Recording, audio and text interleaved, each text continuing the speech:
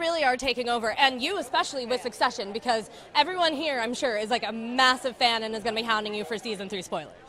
I wish I could give you season three spoilers because it would mean that I would know something, but I know I have no idea. They haven't even started. They I don't know what's going to happen. Who knows? Okay, well, see, that's good to know. But I do have a question for you because I know you know Shiv better than anybody.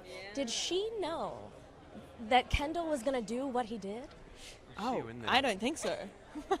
I don't think so at all. No, I think that really came out of left field. I think that was like but maybe she did. I don't know. It depends on like we, we cut at a point where we don't know what's going to happen next, and they, they, they start. You know, the first between first and second season it was 24 hours. Or no, not even. It was like five minutes.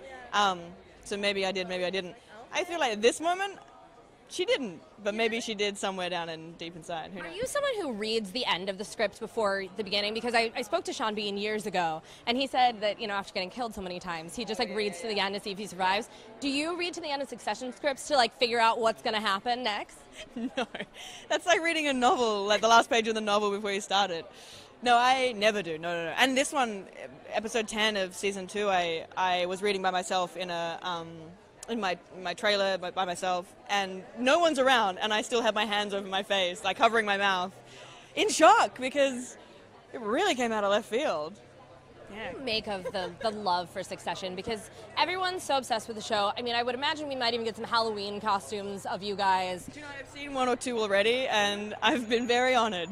Um, there's been some some red wigs, high waisted pants, and turtlenecks. It's uh, yeah, I guess it's a Shiv look. Yeah. What will you be for Halloween then? Probably not Shiv. Definitely not. Um, I don't know actually. I gotta I gotta find a party to go to. Do you have a favorite like costume of all time, like one that you loved more than the rest? Well, my fr- friend of mine is a costume designer. She has an amazing Halloween party every year. And most of the time, you can't recognize anyone who's there because they're all dressed in these amazing outfits. One of my favorite ones was hers. She came as Wilson from Castaway. She, drew, she made this soccer ball like this and walked around the party in a great big soccer ball. I was uh, like an evil anime character. I'd painted my eyes to look like, when I had them closed, they looked like cartoon eyes.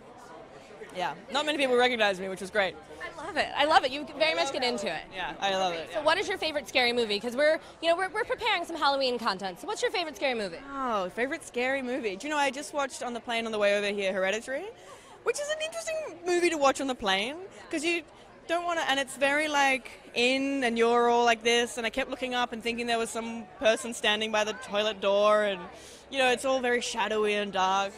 So that was like my recent favorite. That was great. Yeah. Yeah. I feel like it's- Midsommar as well. His other film is so good. Okay, I have to ask you one more succession question.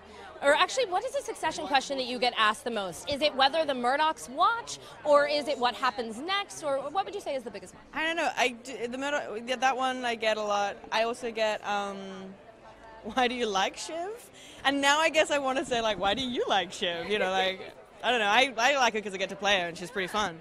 What's the future of Shiv and Tom too? That's an important one.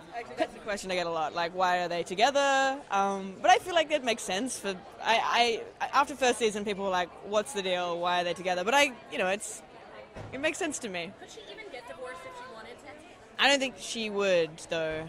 I think she's she's a she's a type A achiever. She's like, no, this is the things you do, and this is the things that I've done, and I'm going to stick to it.